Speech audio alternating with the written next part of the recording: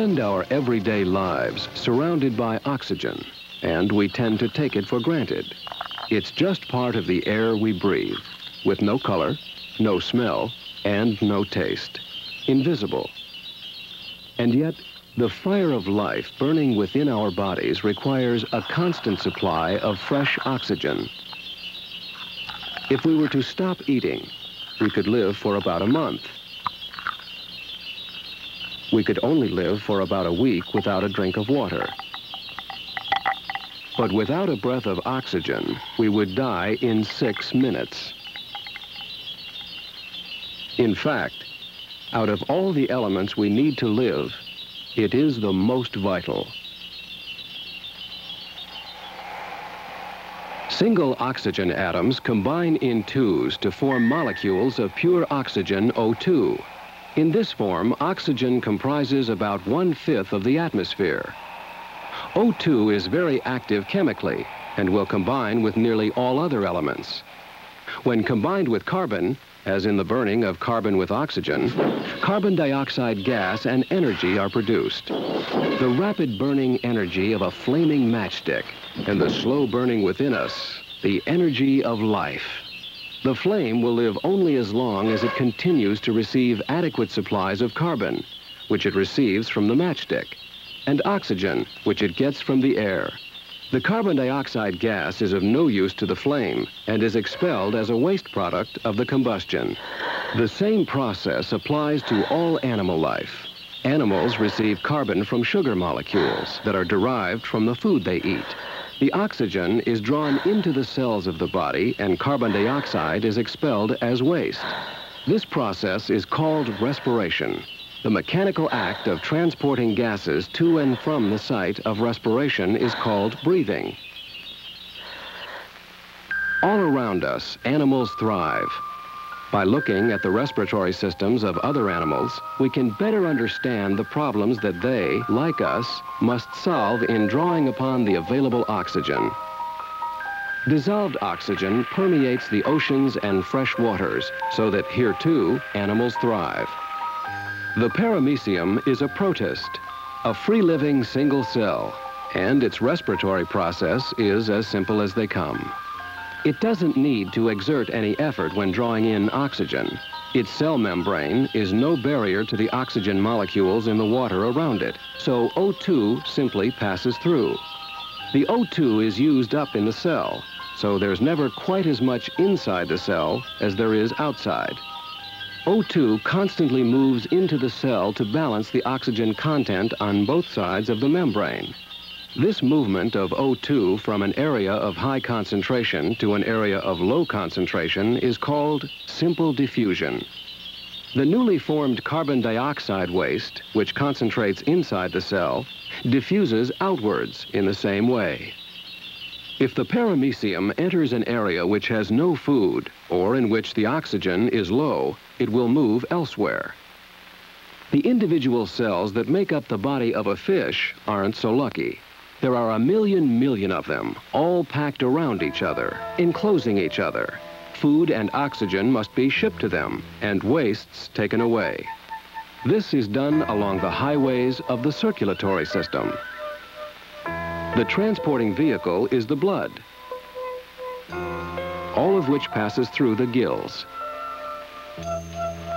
The blood is closest to the surface at the gills, rushing through a profusion of capillaries, and it's here that the exchange of oxygen and carbon dioxide occurs, across a respiratory membrane, which is only a couple of cells thick. In the gills, this respiratory membrane is arrayed into the water as row upon row of delicate feathery tissue. This ensures that there is enough surface area through which the vital diffusion can take place. The fish itself plays a vital role in its own respiration. It breathes, gulping in water and opening its gill covers, forcing a current of water through the gills. Take a fish out of water and it will die from lack of oxygen. And yet, air has 40 times more oxygen in it than water. So why can't this fish breathe in this oxygen-rich environment? One reason is suffocation.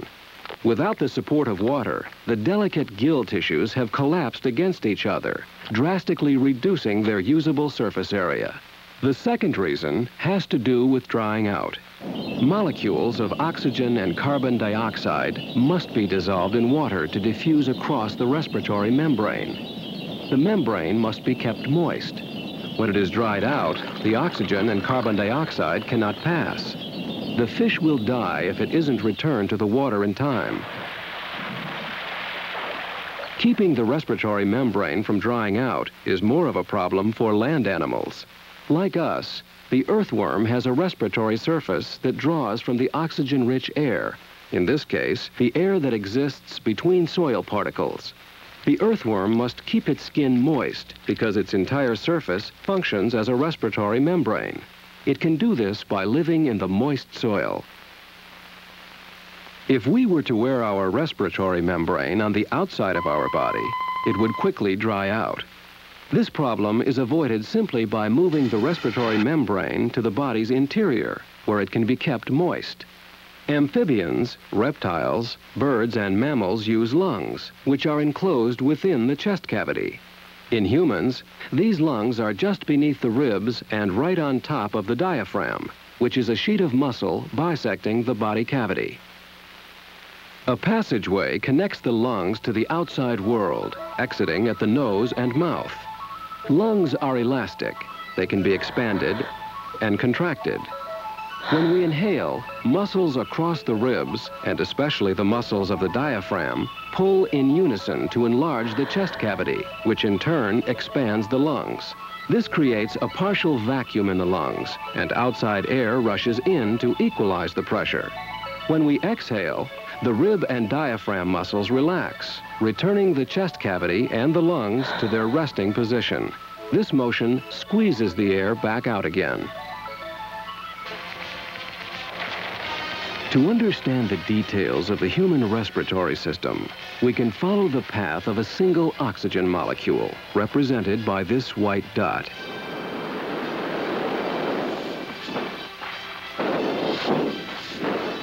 As the chest cavity and the lungs expand, we are pulled towards a nostril, the gateway to the nasal cavity. Just inside, we pass through a protective screen of coarse hairs which prevent most of the larger particles of airborne debris from entering. Once beyond these hairs, we enter a large chamber called the nasal cavity, where the air must whirl past a series of three projecting shelves. In here, we notice a sudden rise in temperature. All the surfaces in this chamber are lined with a mucous membrane, which is filled with capillaries, which radiate the blood's heat into the air. We will continue to find this mucous membrane until the very end of our journey. It secretes a sticky sheet of mucus that serves to trap particles and moisten the air. The mucus is slowly moved along on a carpet of hair-like cilia that beat in a wave-like motion towards the throat, where the particle-laden mucus is swallowed. Here, in this microscopic cross-section, we can see the cilia in motion. Leaving the nasal cavity behind, we enter the pharynx. We pass by a large opening that leads to the mouth. We could easily have taken a shortcut, entering through the mouth instead of the nostrils, but we would have bypassed the important warming, moisturizing, and filtering that takes place in the nasal cavity. The lower portion of the pharynx serves a dual purpose. Both food and air pass through here. Up ahead, the passage divides. Food goes this way, down the esophagus, while air goes this way, down the larynx.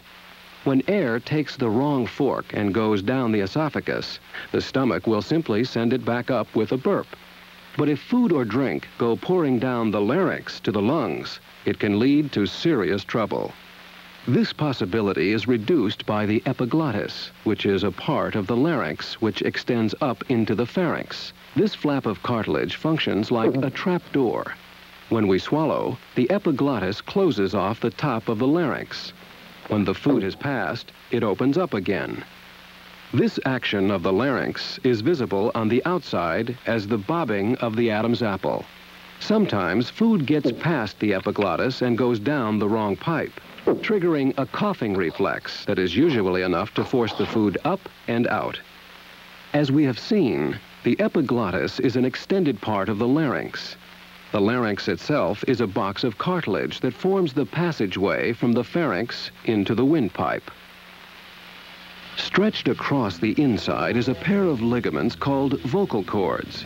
Muscles are attached to these cords and the adjoining cartilage. When we relax the muscles, air passes freely through the larynx. When we contract the muscles, the cords tighten and, if we breathe at the same time, the cords vibrate, creating a sound. By controlling and changing the muscular tension on the cords, we can produce a wide variety of sounds that the tongue and lips can then shape into speech. Below the larynx is the windpipe or trachea. From here on in, it'll be clear sailing. You may notice that down here in the mucous membrane, the cilia are beating in the opposite direction. They have been ever since we entered the larynx. Dust particles trapped here must be moved upwards to reach the pharynx. The trachea is kept wide open by reinforcing C-shaped rings of cartilage.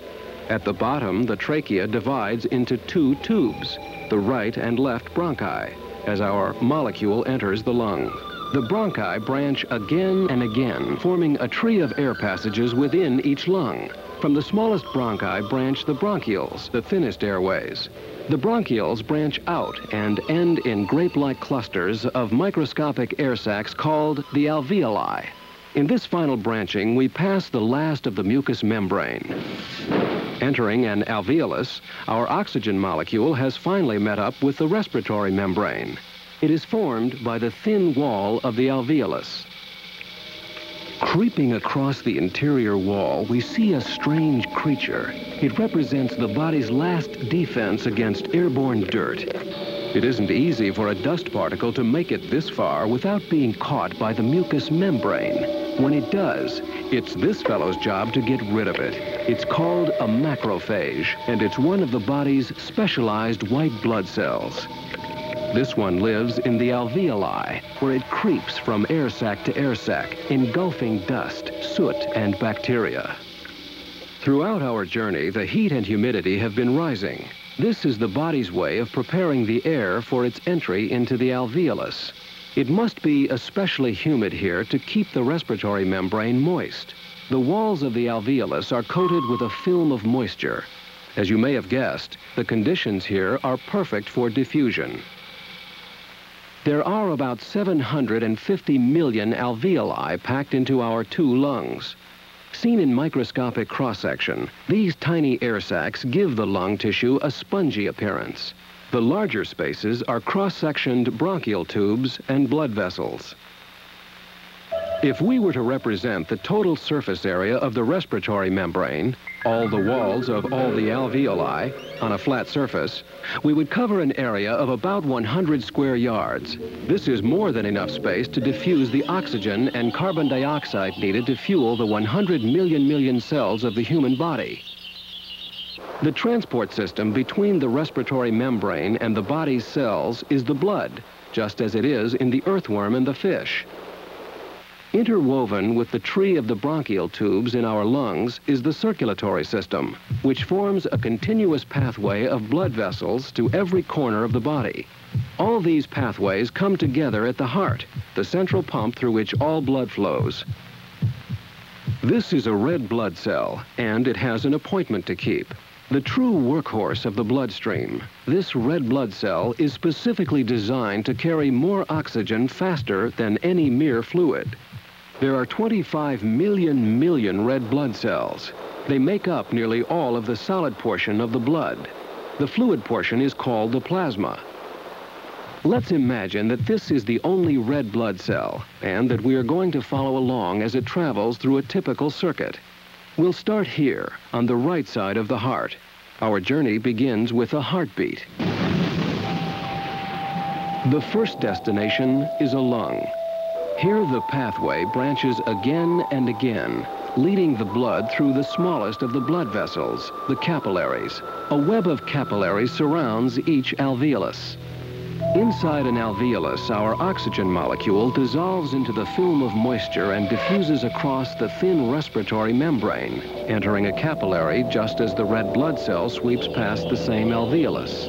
Our oxygen molecule, as well as many others, latches onto the red blood cell, turning it a brighter red. The oxygen-rich cell then flows back to the left side of the heart, completing the first loop of its circuit. The heart drives the blood out again, this time to supply the oxygen needs of the rest of the body. The course it takes is determined almost completely by chance. Once again, the blood is directed into thin capillaries. Surrounding the capillaries, the living cells are all using up oxygen and building up concentrations of carbon dioxide. When the red blood cell reaches cells which contain less oxygen than the blood, its cargo of O2 diffuses into the cells. At the same time, waste carbon dioxide will diffuse into the bloodstream from concentrations outside and be picked up by the blood cell and the plasma. It now flows back to the right side of the heart, completing the second loop of its circuit and returning to its starting position. From here, it begins again, back to a lung, back into the capillaries surrounding an alveolus, where it releases its load of carbon dioxide and picks up a new load of oxygen. A carbon dioxide molecule diffuses into an alveolus from an outside capillary. Let's follow it on its way out of the respiratory system. It goes out the same way the oxygen came in. As we exhale, air is forced out, up through the bronchial tubes, up the bronchi, out of the lung, into the trachea, up the trachea, through the larynx, between the vocal cords, past the epiglottis, up the pharynx, into the nasal cavity, past the nose hairs, and out. In, out. Oxygen in, carbon dioxide out. We breathe about 16 times a minute over 20,000 times a day. Because our breathing is controlled by our autonomic nervous system, we don't have to think about it. Asleep or awake, nervous impulses are automatically sent from the brain to the respiratory muscles in our chest. Special sensors here and here are vital to the pace of our breathing. They detect carbon dioxide levels. If there's too much, they relay this information to the brain, and the rate of breathing will increase to reduce the level of carbon dioxide. During our daily activities, we are automatically switching from rapid breathing to slow breathing, matching our body's oxygen requirements. However, we can consciously override the autonomic breathing system. We can hold our breath whenever we want to. Of course, we can't hold it forever. Our bodies can't tolerate oxygen starvation for very long. Hmm? Most people can hold their breath for about one minute, though there are some who can go for over four minutes. Sometimes our autonomic nervous system will malfunction. Hiccups are a common problem.